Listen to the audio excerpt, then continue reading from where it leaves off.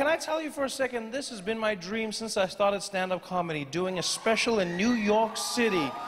This is it. This is it. New York, New York! Yeah, New York! I'm walking over here! That was all I thought New York was before I came here. I just thought it was a city of people almost getting run over.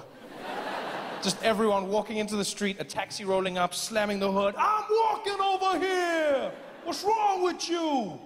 You want some coffee? I didn't even know what that meant. All I knew was one day I was going to go to New York City, and I too was going to almost get run over by a car.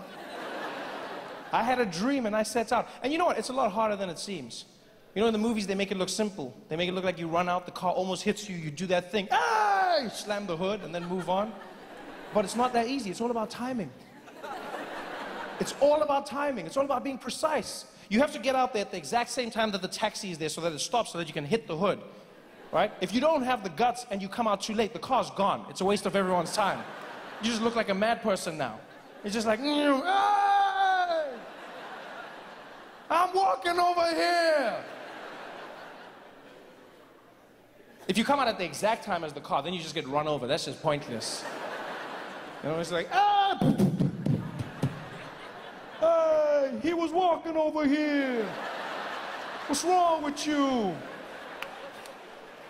The worst though is when you come out too early, because that's just awkward for everyone involved.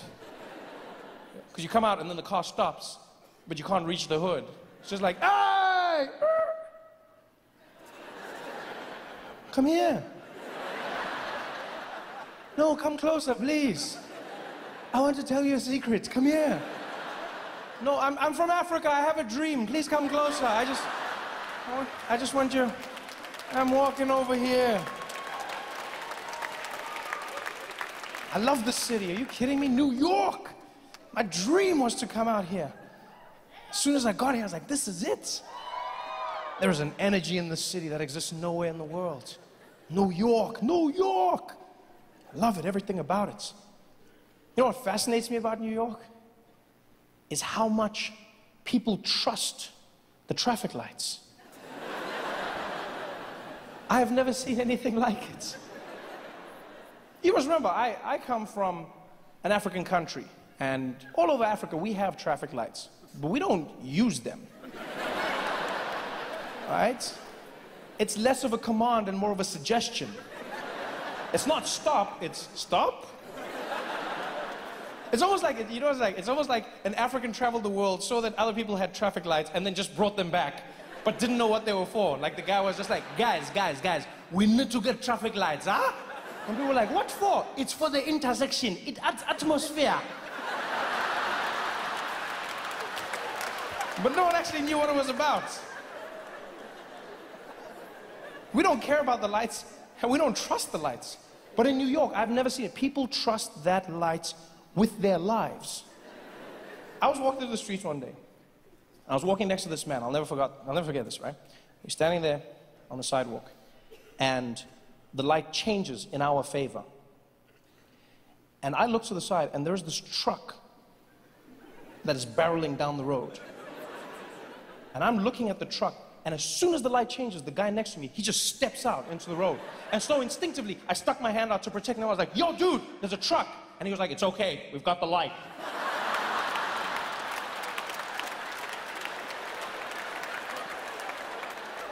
I said, yeah, and he has a truck in a game of rock, paper, scissors, you lose.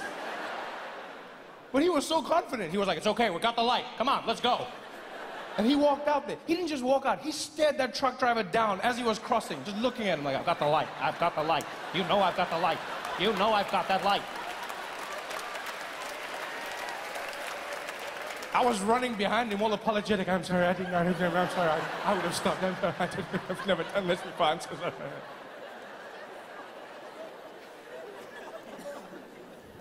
I walked with that man for 12 blocks.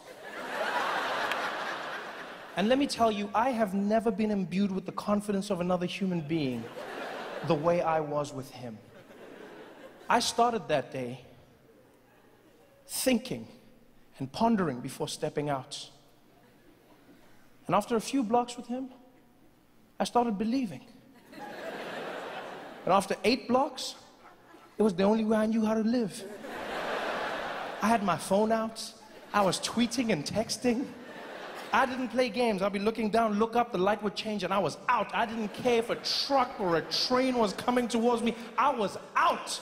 Because I've come to realize in America, if you've got the white man on your side, you can do whatever you like.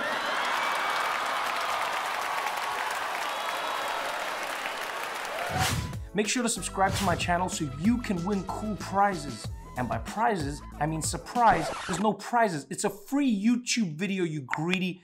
Just click the video, man. Why you want free things on free things?